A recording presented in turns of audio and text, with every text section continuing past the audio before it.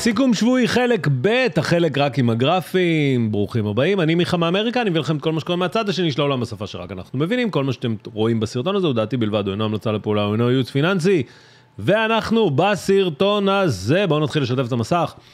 עוברים בעצם על המניות הבאות, אנחנו עוברים על ה-SNP, אנחנו עוברים על הנסדק, אנחנו עוברים על הראסה, אנחנו עוברים על הוויקס, אנחנו עוברים על הדלק, עוברים על הדלק, עובדים על הביטקוין. על SMH, על אפל, על מיקרוסופט, על טסלה, על אמזון, על גוגל, על K-Web, על ניאו, הוספתי אפילו את אובר, ועל תל אביב 35, תל אביב 125, וכן, יש לי אפילו בשבילכם, מי שישאר לתל אביב 125. משהו מעניין סביב האם תל אביב 125 זה המדד הטוב ביותר, כמו שאפשר להגיד, או לא להגיד, תלוי מה טווח ההשקעה שלכם. אני מדבר על כל אלה. אה, כרגיל, לייק, subscribe, אתם מכירים, לערוץ יוטיוב שלנו, 25-200, יכול להיות שירות זה יהיה כבר 25-300. בואו נתחיל. ואני רוצה הפעם להתחיל, זו בדרך כלל התצורה שאנחנו מסתכלים, מצד שמאל יש לנו שבויים, מצד באמצע יש לנו ימי, ויש לנו פה את, המניות, אפילו אפשר לסגור את זה קצת. אני דווקא רוצה להתחיל הפעם את הסקירה. למי שהגיע לפה חדש ולא אוהב את כל הקווים ולא אוהב את כל הרעש על המסך, אני רוצה להתחיל רגע בגרף נקי. מה שאנחנו רואים כרגע זה הנסדק. התעודת סל שעוקבת אחריו שנקראת QQQ. למה אני רוצה להתחיל רגע עם הנסדק? כי בעצם הנסדק כרגע, אחרי כמה שבועות מאוד טובים, אתם יכולים לראות מהתחתית שקרתה ב-16 ליוני, עלה, בעצם מה-16 ליוני עלה כל הדרך עלייה של כ-17.49 אחוז. עלייה באמת באמת פנומנלית. אבל עכשיו הנסדק מגיע לאיזושהי נקודה, שהיא נקודת, נקרא לה נקודת התנגדות. למה נקודת התנגדות? כי בעצם, אם אני אקח ואמתח, הפעם אני לא אמתח קו, אני אמתח אזור. מאותה תמיכה שהייתה ב-12 למאי, ומי שזוכר, כשתמיכה נשברת, היא הופכת להיות התנגדות.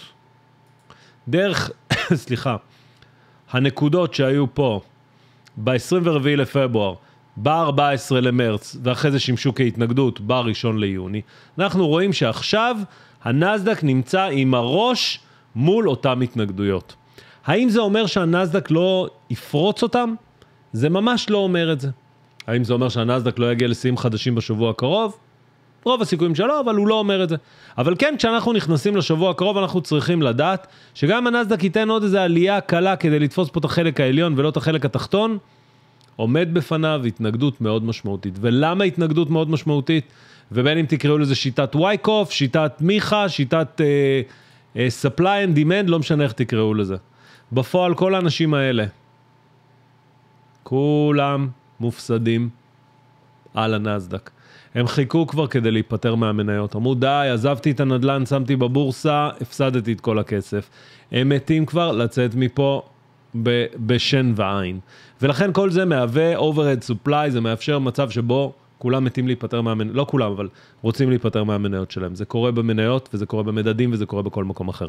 ולכן נסדק כרגע נמצא במקום מאוד מאוד מתוח, הוא גם עלה כמעט בלי תיקון, ולכן לא מן הנמנע שהנסדק, היא גם אם יהיה לו עוד קצת עליות, עוד מעט נראה את זה ממש בגרפים בימים, ביום, יומיים הקרובים, ירד לתקן קצת. כל שכן אם נמתח קו מגמה, ואני כרגע במוד לוגריתמי, אם נמתח קו מגמה אנחנו נראה שבין השפלים הקודמים, בעצם אנחנו התרחקנו, אני אפילו לא שם ממוצעים נעים, אנחנו נשים אותם ב... כשנחזור חזרה לגרפים הרגילים, אנחנו רואים שהתרחקנו מאוד מקו המגמה. בעצם אנחנו כרגע כלואים בין התנגדות מעל הראש וקו מגמה, ולכן לא מן הנמנע שנראה ירידה. זה לגבי הנסדק, בואו נעשה את אותו דבר על ה-SPX, הלוא הוא ה-SNP.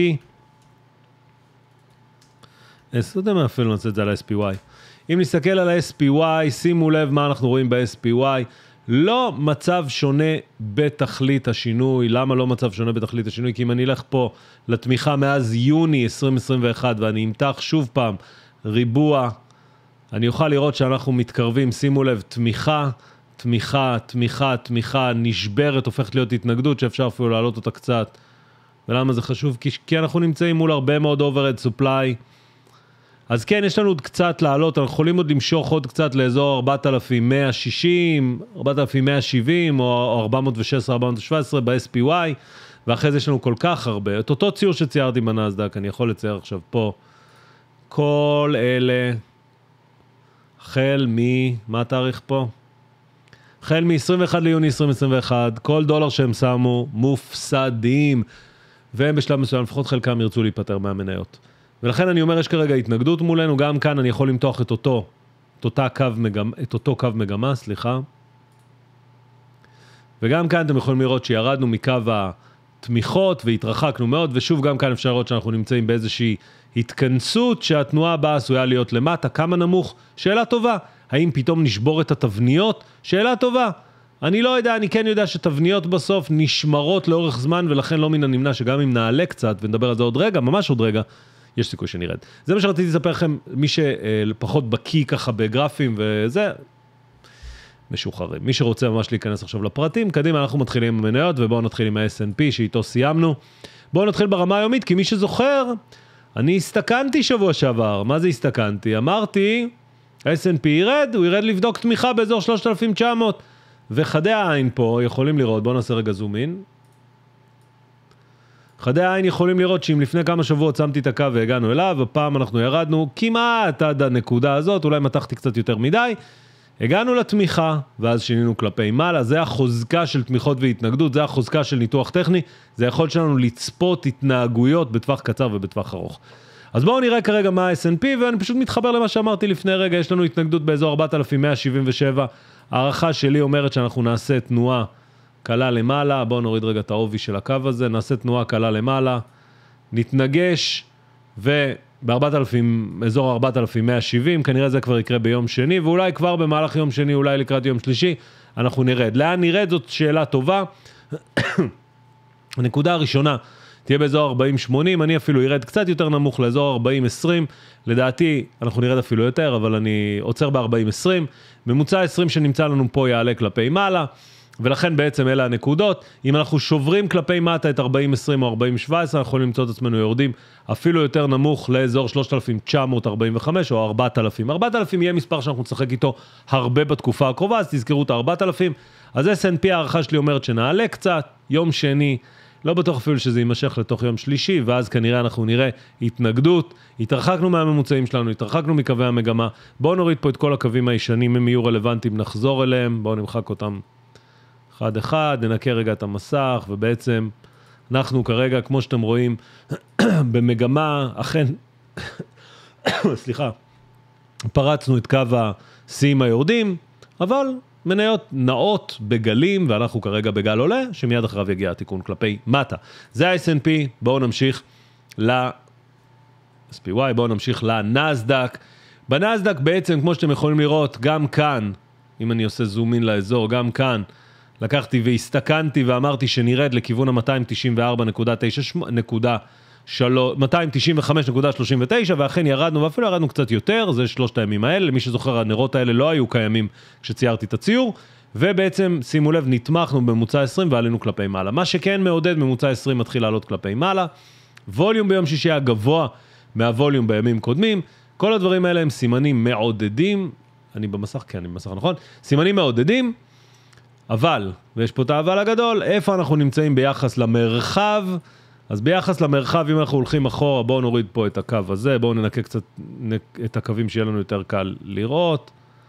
אז בעצם אנחנו נמצאים כרגע מעל ממוצע 20, רחוקים ממוצע 20. היה ווליום נכנס ביום שישי ולכן אני לא פוסל את העובדה שנפתח גם כאן ביום שני בעלייה כלפי מעלה, אבל אז שימו לב, יש לנו פה צרור של התנגדויות, אני הולך כל הדרך לאזור ה-318.26 ולדעתי שמה אנחנו נקבל את ההתנגדות שלנו, זאת אומרת שגם כאן אני מוכן לקחת את הריזיקה איתכם, להגיד שנתחיל את יום שני ירוק ולאזור ה-318.26 ואחרי זה נרד, לבדוק תמיכה, הערכה שלי אומרת שנגיע גם כאן למספר עגול לאזור ה-300 מה יקרה שם? ממוצע 20 מפגוע האמת, הגזמתי קצת עם ה-300, אנחנו נעצר קצת לפני באזור ה-303.36, איפה יש לנו פה, איפה שיש לנו פה תמיכה. דעתי לפחות, שם אנחנו נפגוש את ממוצע 20, וניתן לשוק ככה להתייצב וכולי, זה מחזיר אותנו לסרטון ש... אה, לא מחזיר אותנו, כי אתם עוד לא ראיתם אותו. מחר, סרטון הפומבו, אם אתם בקהילה, אתם כבר יכולים לראות אותו היום, ואתם יודעים על מה אני מדבר, מה זה פומבו, מה המצאת, מילה חדשה. אז זה, זה הנסדק, אה, להערכתי יסיים את ה... או לפחות יעלה קצת, יקבל התנגדות, ירד כלפי מטה ל-302. אם לא וממשיך לעלות, ההתנגדות הבאה של הנסדק ב-330. יש לנו פה, אתם חושבים להגיע ל-330, בואו נמדוד כמה זה. אתם חושבים שיש לנו במכל יכולת לעלות עוד 4.5 אה, אחוז? מעניין, תרשמו לי פה בתגובות אם אתם חושבים. לפני שזה אני מסחר נפתח, אל תרשמו אחרי זה, לא, זה לא לעניין. טוב, אז זה מה שאני חושב שיקרה בנסדק, בואו נמשיך לאזור ה-IWM. ה-IWM יש לנו מלא מלא קווים, כמו שאתם רואים מסרגה, והדבר הראשון שאני עושה כשיש לי מסרגה, אני מוחק הכל, ומתחיל מההתחלה, כמו שאומרים, בואו נמחק הכל, אוקיי. אז ב-IWM, מדד המניות הקטנות, פה אפשר לראות פישול, אני חשבתי שירד יותר משמעותית, לא ירד כמעט, מיד תפס תאוצה ועלה כלפי מעלה. מה זה משדר לי? זה משדר לי שהמניות הקטנות מגיבות הרבה יותר מהר בתקופה של שינוי מהמניות הגדולות, S&P, נסדק וכולי. מה זה אומר? זה אומר שהן יותר תזזיתיות, זה אומר שאם השוק עולה הן עולות יותר מהר, אם השוק יורד הן יורדות מהר יותר. לא משתנה כלום בקווים שציירנו. שימו לב, יש לנו פה קו, שהפעם אני רק אמתח אותו. באזור מחיר 188, אני אעשה זום אין לאזור הזה, רק שנייה, שימו לב, באזור ה-188 והתנגדות נוספת באזור ה-190. אז אם אני חושב שהסנטימנט יהיה סנטימנט עלייה, גם כאן אני אתן קצת עלייה, שימו לב שבשונה מהנסדק היה לנו ווליום יורד ביום שישי, ווליום יורד מצביע על התמעטות הקונים. אז גם אם כאן אני אהיה קצת אופטימי ויעלה, אני בגדול חושב שהראסל בדרך לרדת כלפי מטה ולפחות לנסות להגיע לאזור ה-181.55. למה שמתי דווקא פה? כי אם אני אקח ואמתח קו מהתמיכה הזו, שימו לב שהתמיכה ב-181.77, בואו נעלה קצת את הקו, שימשה כתמיכה, נשברה, ואז יש לנו פה תמיכה נוספת. אני חושב שאנחנו נגיע לאזור ה-181, ממוצע 20 בינתיים יעלה ויפגוש אותנו שם. זה הראסל. כל המניות האלה, כל המדדים האלה ברמה השבועית, אנחנו יכולים לראות את השבועית, כולם ייצרו קו מגמה עולה, אין ספק שאנחנו בשינוי טרנד, לפחות בטווח זמן הקצר, בטווח הזמן הארוך אנחנו עדיין במגמה יורדת. ממשיכים. זה הסיפור הגדול.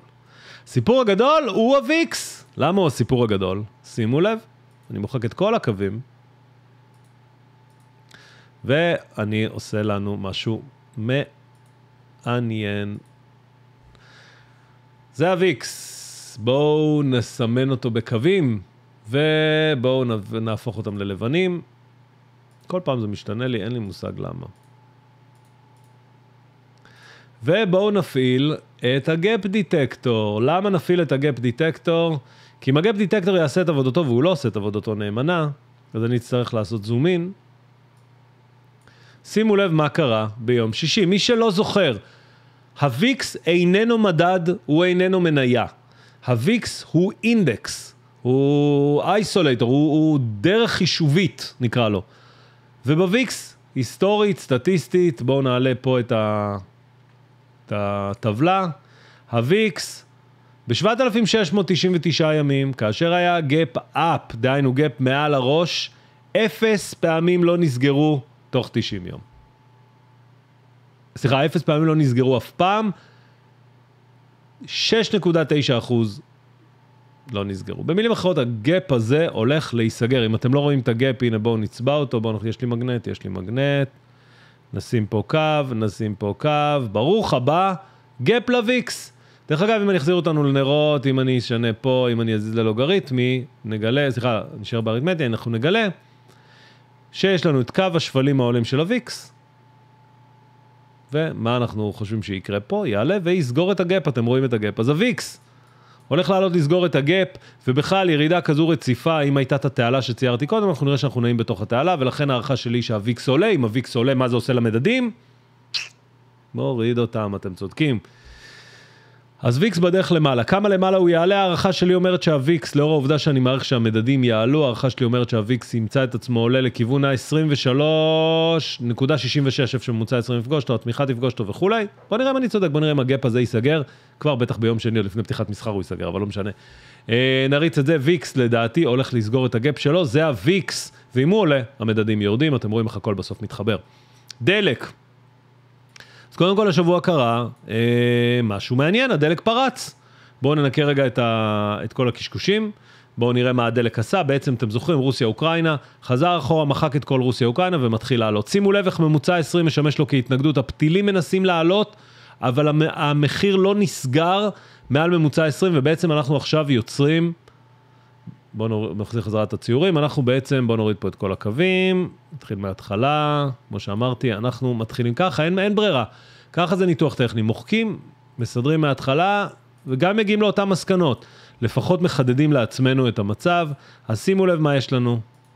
יש לנו שפלים עולים, נצבע את זה בצהוב, נאבד את הקו, שכולם יוכלו לראות גם בטלפונים. יש לנו שפלים עולים, יש לנו שיאים יורדים, ויש לנו רצון של הדלק לפרוץ, לא לפרוץ, שאלה טובה. אני לא יודע להגיד, אני כן יודע להגיד שאם אנחנו לוקחים את, ה, את קצה הפתיל העליון באזור המאה שהוא נגע ביום שישי, ומחברים לשיא של אזור 14 ליוני, אזור אותו 120, אנחנו רואים שיש לנו עדיין מגמה יורדת, אבל ניסיון פריצה. האם הפריצה הזאת תתממש או לא, או שיקרוס שוב כלפי מטה? שאלה טובה.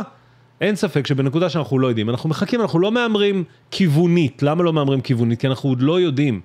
אנחנו עוד לא יודעים כי הוויקס בפועל לא סגר מחיר. אתם רואים, אם אני עובר לגרף כזה, שהוא גרף של מחירי סגירה, אנחנו עדיין במגמה יורדת, שימו לב. המגמה לא השתנתה, היא עדיין מגמה יורדת. נכון? אתם רואים? כי בעצם, אתם יודעים, אני אעשה את זה בקווים שיהיה יותר קל לראות. כי בעצם מה מציגים הגרף קווי? הגרף קווי מציג לנו מחירי סגירה, ואתם רואים שאנחנו עדיין במגמה יורדת. אז אם פרצנו או לא פרצנו, אנחנו קרובים לפרוץ או לא קרובים לפרוץ, לא יודע, אני לא מנסה לנחש, אני אומר לעצמי, משחקים את המשחק ורוצים לראות לאן הדלק רוצה לפרוץ. אז ככה, אם הוא פורץ ושובר את המאה, שיש לו פה התנגדות ולא סתם הוא נעצר, שימו לב, אני אמתח את קו ההתנגדות באזור המאה, אתם רואים שהתמיכה נשברה, התנגדות, התנגדות, התנגדות נוספת שלו נמצאת באזור המאה ושתיים, ולאחר מכן הוא יכול לרוץ יפה מאוד עד 109. אם הוא נופל חזרה, אנחנו נמצא אותו נתמך כבר רק באזור ה-88, מה שאומר נפילה מאוד משמעותית.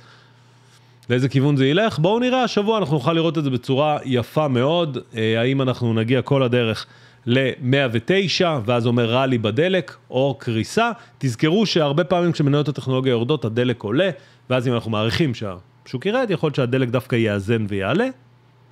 אנחנו נהיה פה כדי לראות. ממשיכים.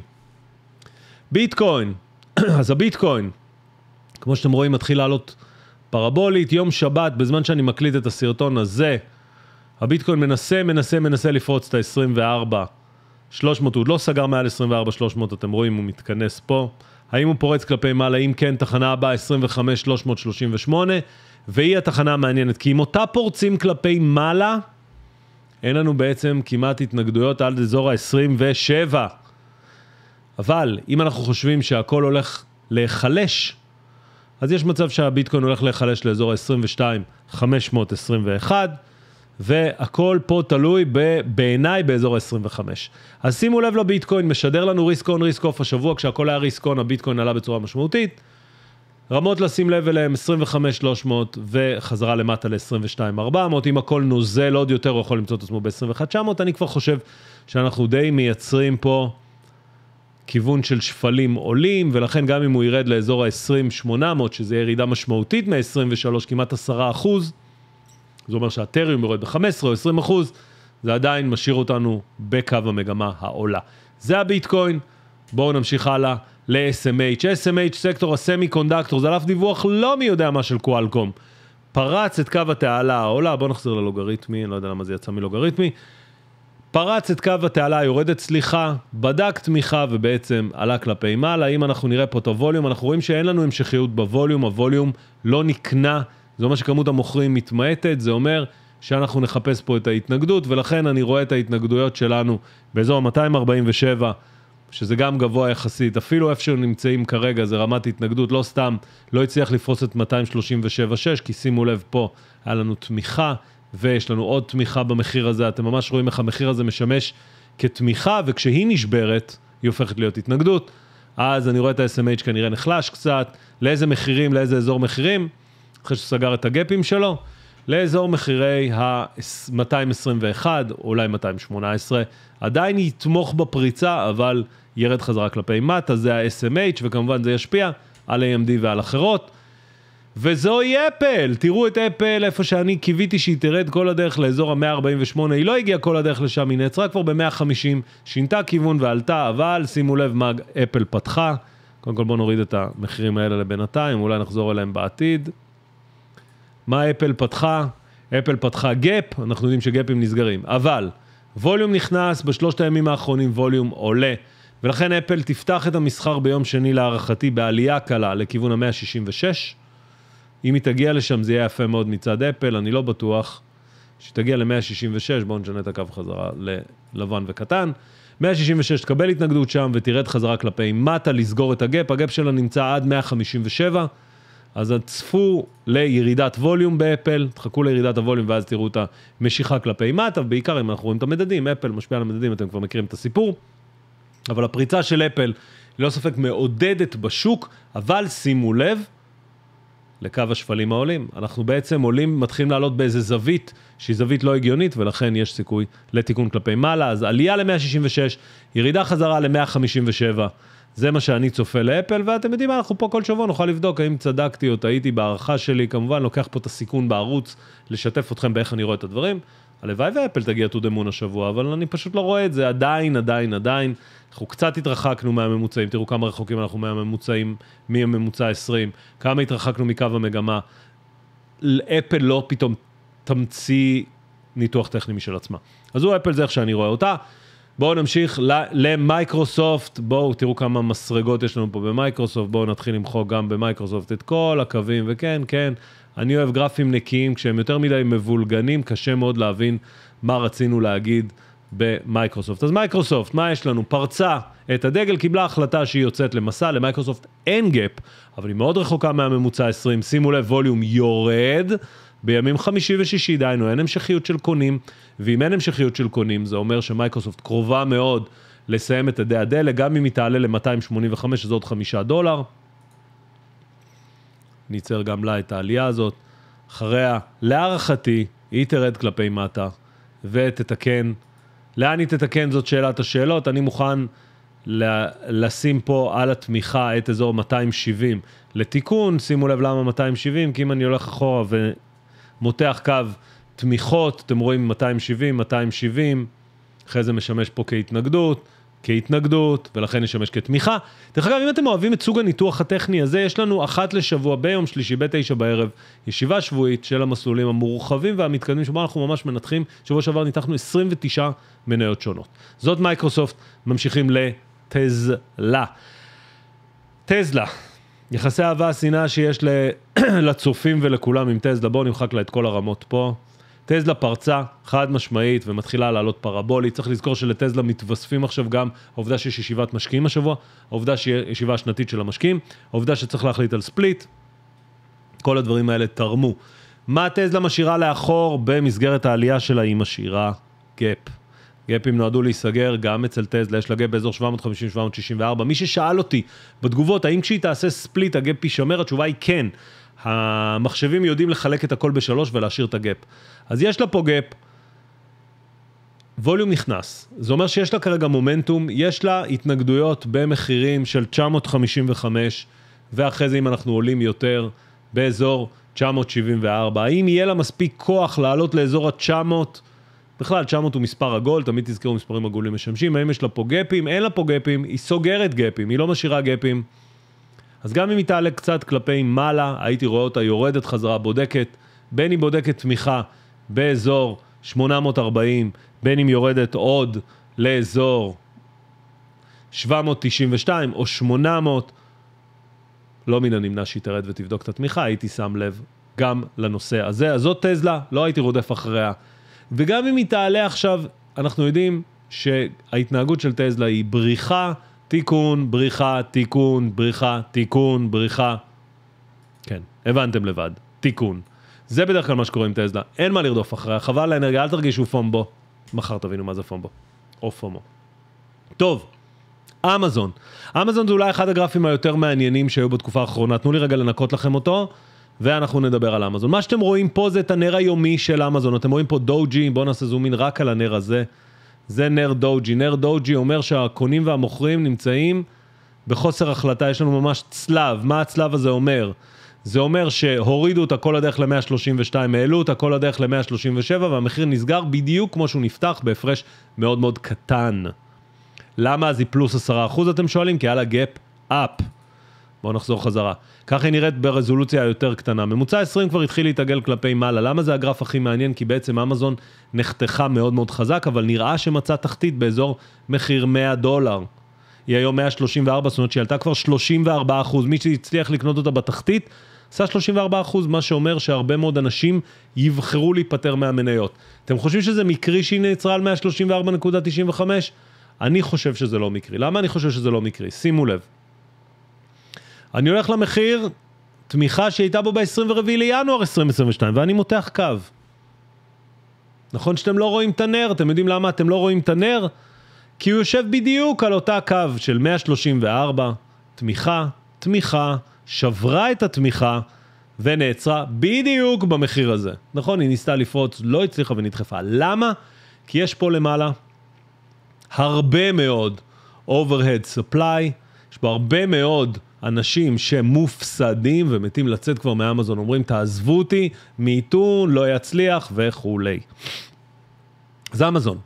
מה אנחנו רואים? אנחנו רואים מומנטום מאוד חזק, volume מאוד חזק, שימו לב שה earnings שלה היה מאכזב ועדיין היא עלתה 10%, אבל כמו הרבה מניות, מה היא פתחה? gap.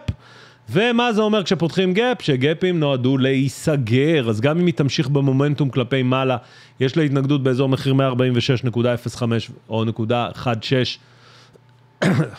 אני לא רואה אותה מגיעה לשם. אני רואה אותה נעצרת הרבה לפני באזור ה-140 במקסימום. ומשם יורדת, סוגרת את ה gap לאזור 122, ולכן אני אומר, אין מה להרגיש FOMO. הכל בסדר, מניות כמו שהן עולות ככה הן יורדות. אז מחירים 140 לדעתי זה ה top שלה בשלב הזה, יורדת למטה, בין אם ל-128, בין אם ל-122, נתמכת, מבססת תמיכה, ואז מתחילה גל עולה חדש. זו אמזון, לא הייתי רודף אחריה בכלל. גוגל, גוגל נראית קצת אחרת. שימו לב שגוגל עדיין בשלב ביסוס ה base שלה, ביסוס הבסיס שלה. לא ה base של המצביעים שלה, אלא הבסיס שלה. שימו לב שיש לה קו שפלים עולים, את אותו קו אם אני אעתיק אנחנו נראה שבעצם היא נעה בתוך תעלה, שימו לב, copy paste,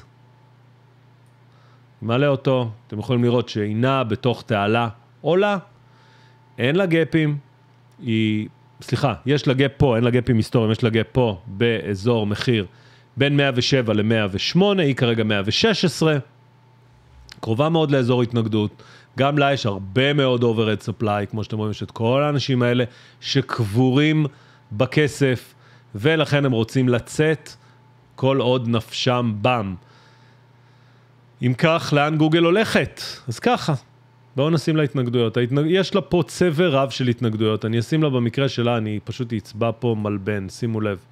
כל האזור הזה הוא אזור התנגדויות של גוגל, בין 117 ל-119, היא כרגע 116, אין לה עוד הרבה לעלות. גם אם היא תעלה קצת, אחרי זה היא תרד. לאן היא תרד? היא תרד, כמו שאתם יודעים, לסגור את הגאפ. ולסגור את הגאפ ולייצר שפל עולה, ולכן לא מן הנמנע שגוגל, אחרי שתעלה לאזור ה-117-119, תירד לאזור ה-107-108, כשיש לה תמיכות באזור ה-108, קצת לפני 108 וחצי, ואנחנו יכולים למשוך, אבל בגדול היא מייצרת בסיס.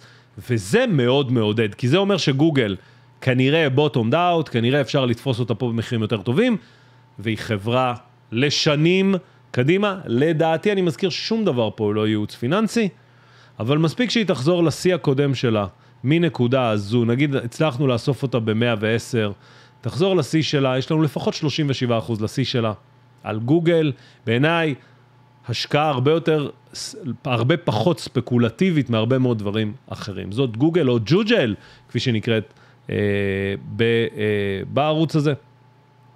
מניות הסיניות, אני מרכז את כולם ב-K-Web, K-Web תעודת הסל שמרכז את המניות האינטרנט הסיניות. אתם יכולים לראות ביום שישי, בעקבות ההיחלשות, בעקבות כל הדיווחים השליליים, K-Web זורקת נר מחוץ לקו המגמה העולה, ולמה זה רלוונטי פעמיים? ימי שישי בדרך כלל ימים טובים למניות הסיניות. היא יורדת. היא פותחת אמנם gap, אבל עכשיו קו המגמה הופך להיות התנגדות. אני כרגע חושב שאנחנו צריכים מאוד מאוד להיזהר מהמניות הסיניות. אמנם כל מה שהיא עשתה זה סגרה את ה gap, אבל יש לה עוד gap פה למטה. להערכתי היא תעלה, תיתן תקוות שווא באזור 29 דולר, ואז תתחיל לרדת שוב, לנסות לסגור את הגאפ באזור 25. מניות הסיניות, אני לא הייתי מתקרב אליהן בתקופ... בתקופה הזו, אבל זה אני, אתם יודעים, אני לא, לא אוהב לקחת סיכונים בשלב הזה, למעט אם אנחנו מקבלים חדשות חיוביות. מסין, אז כרגע הנקודות התנגדות הבאות יושבות ב-29 דולר, ואז לדעתי יורדים לכיוון ה-25. זו מניות הסיניות, ככה אני רואה אותן, ואם אנחנו נלך לניאו ספציפית, ניאו מכבדת את אותה תעלה. מה שכן, ב trade מאוד קצר, יש לנו נר בולן. יש לנו נר בולען שבולע בעצם כמעט את כל השבוע האחרון, יש לנו volume עולה, מה שאומר שיש סיכוי לניאו לעלות לכיוון ממוצע 20 שנמצא ב-20.45, לכבד את קו השיאים היורדים ואז לרדת חזרה. אז נקודות הבאות לניאו וזה ל trade קצר, כמובן העלינו אותו בקהילה, הליך שראינו וזיהינו את ההזדמנות. יכולה לעלות לכיוון ה-2078, תקבל את ההתנגדות גם של קו השיאים היורדים, גם של קו ההתנגדות הזו ותרד חזרה למטה, בין אם תרד ל-18.8 או אפילו תמשיך, אני לא יודע, אבל היא פרצה או נכשלה בעצם בעלייה כלפי מעלה, וכרגע הטרנד שלה הוא טרנד יורד. בכלל, הסיניות, אמרתי לכם, לא נראות טוב בעיניי. שנייה לפני המדדי התל אביב, בואו נדבר על אובר. ולא אובר חוכם, אלא אובר. שימו לב, אובר בשבוע של דיווחים, אני לא אוהב לשחק על דיווחים, ואני גם לא אשחק על דיווחים. אבל, אבל, אבל, שימו לב למגמה של אובר. bearish, bearish, bearish, bearish, bearish, תחתית. האם התחתית הזאת תישמר גם בעקבות דיווח התוצאות שלה? שאלה מצוינת, טוב ששאלתם. מה עומד לזכותה, מה עומד לרעתה? לרעתה עומד gap, שנמצא באזור 21.78. לזכותה, שאנחנו רואים, בעצם אפשר לצייר פה תבנית head and shoulders, אפשר לראות תבנית של שינוי מגמה, אפשר לראות את כל התבניות האלה. אני לא משחק, לא משחק דיווחים, זה סיכון, 100% סיכון, אני כן אבל יכול להגיד שאם אובר נחלשת וסוגרת את ה gap, גם אם היא תרוץ לפני דיווח התוצאות שלה, היא נהיית מאוד מעניינת בעיניי. ולמה? כי בנקודת, שימו לב שהיא פרצה את קו, בואו נסדר את קו השיאים של הרגע.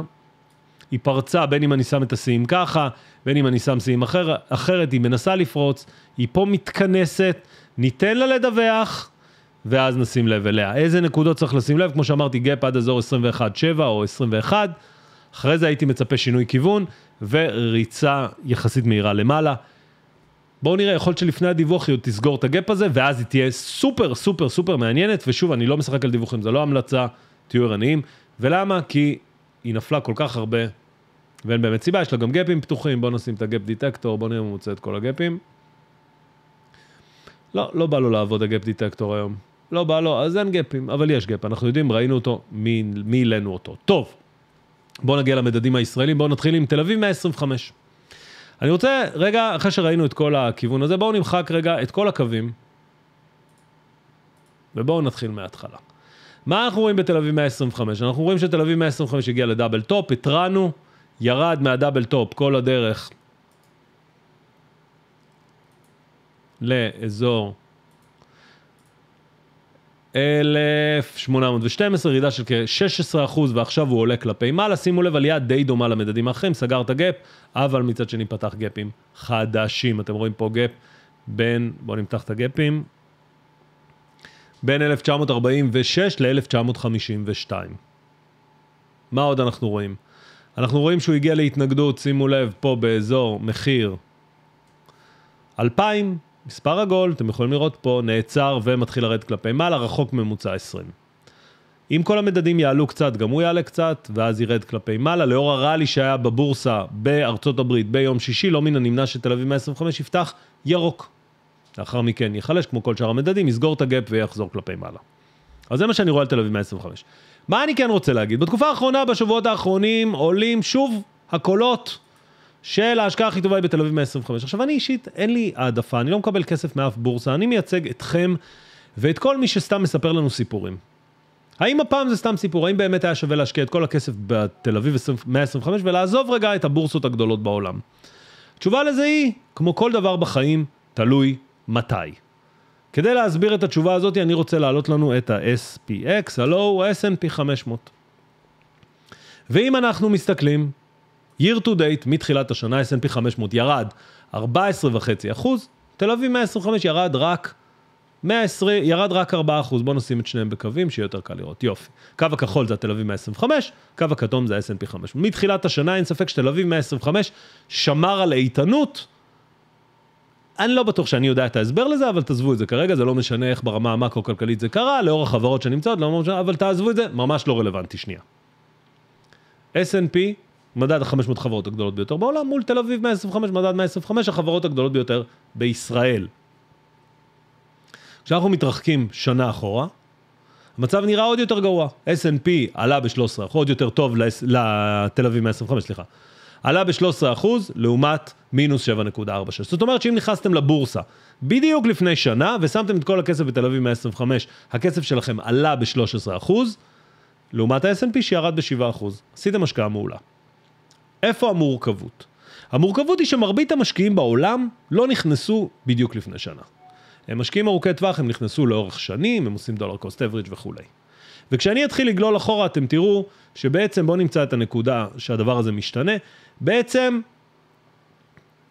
בפברואר 2020, המצב, מהנקודה הזאת המצב משתנה. זאת אומרת שאם התחלתם להשקיע לפני הקוביד, שימו לב מה עומד לקרות. ככל שאני אלך יותר אחורה, הקו הכתום והקו הכחול משנים דרכיהם בצורה משמעותית. זאת אומרת שאם התחלתם להשקיע ב-2013, ואני מניח שרוב האנשים שנמצאים פה בלייב הזה היו בחיים ב-2013, כי זה היה לפני תשע שנים, ה-S&P בתשע שנים הזה עשה 147 אחוז, לעומת תל אביב 125 שעשה 78 אחוז. דרך אגב, אם אנחנו נלך ל-all time, לפחות מה שיש ב TradingView, שזה מתחיל ב-2007, אז מ-2007, לפני 15 שנה, ה-S&P הכפיל את עצמו ביותר מפעם, זאת אומרת 174 אחוז, לעומת תל אביב 125, שימו לב שהוא ב-80 אחוז תשואה.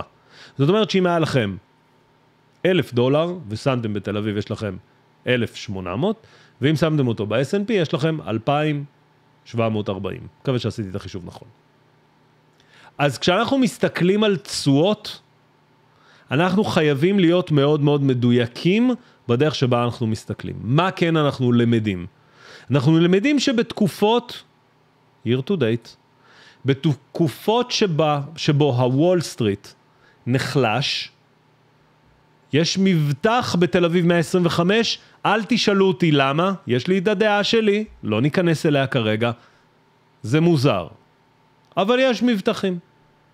עובדתית, מתמטית, הדעה לא רלוונטית, המתמטיקה מנצחת. אבל אם אנחנו הולכים לתקופות של bull market, דהיינו לתקופות שבה הבורסה עולה בחמש שנים האחרונות, לדוגמה, ה-S&P מנצח את התל אביב 125. עכשיו, אני לא מקבל כסף מאף אחד מהבורסות האלה, לא מעניין אותי, תשקיעו איפה שאתם רוצים, אני רק אומר, צריך לשים לב למה טווחי השקעה, כי אם אנחנו מעריכים שמפה ואילך אנחנו שוב נכנסים לריצה שורית, המתמטיקה מולכם, אוקיי? זה מה שהיה להגיד על תל אביב 125, כמובן תל אביב 35 הוא subset של כל האירוע הזה ולכן אין מה להסתכל עליו בנפרד. בואו כן אבל נסתכל רק על הרמות שלו כי זה חשוב לסכם את העניין הזה, אז אני מקווה שזה הועיל לכם, לפחות כדי להימנע מכל ה... נקרא לזה, קצת אה, פרופגנדה סביב אה, מדדים. ומי שעושה את הפרופגנדה הזאת כנראה מקבל כסף מהמדדים, כי אני לא אכפת לי איפה שאתם שמים את הכסף, אני רוצה שתעשו את התשואה הכי טובה שאפשר, בסוף בשביל זה אנחנו פה. אז תל אביב 135, אה, תל אביב 35, כמו שאתם רואים, נע, באותה תעלה לא השתנה שום דבר לאן הוא מתקרב, הוא מתקרב לקו השיאים, זה אומר שיש לו קצת לעלות, לאן יש לו לעלות? 1955, שאם אני אקח ואמתח מפה, מהשיא של 10 למרץ, קו אתם תראו שזה בדיוק מתנגש לנו, אז מ-1956 נראה כמו נקודת התנגדות, ירידה אחרי זה לאזור ה-1900, ינוע בתוך התעלה, לא השתנה שום דבר. זה מה שהיה לי לספר לכם היום, חברים, אני אחלק את הכל בסליידר פה למטה, תוכלו לעבור מאחד לשני, וכרגיל חברים, אני מקווה שנהניתם ממה שראיתם, כמובן אני אשמח שתפרגנו בלייק, כן, אני יודע שעצבנתי עם תל אביב 125, ואני יודע שזה לא עניין פטריוטיות. תזכרו, בסוף לכסף שלנו, הוא לא משרת בצבא. באמת שלא. כסף שלנו הוא הדרך שלנו לחיות חיים טובים יותר.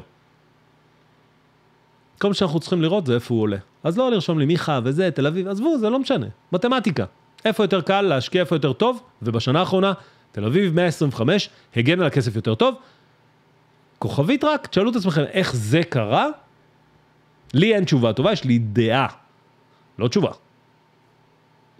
עד הסרטון הבא, עד הלייב הבא, עד הסרטון הבא שיספר לכם מה זה FOMO. יאללה ביי.